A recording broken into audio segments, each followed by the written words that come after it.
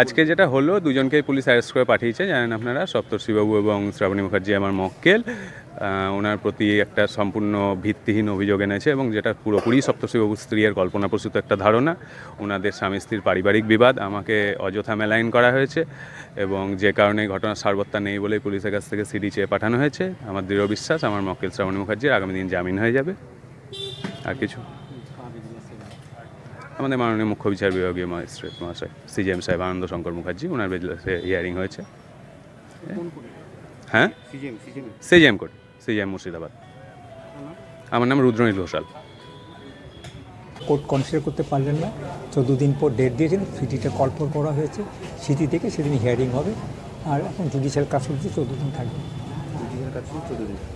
মানে কী কী মূলত ধারা প্রয়োগ করা তিনশো সাত attempt to murder four ninety eight অর্থাৎ বধু নির্যাতন আর চারশো সাতানব্বই অ্যাডাল্টারাস লাইভ লিড করা এই ধারণা হ্যাঁ করেছিলাম তো যে না হয়ে কনসিডার হবে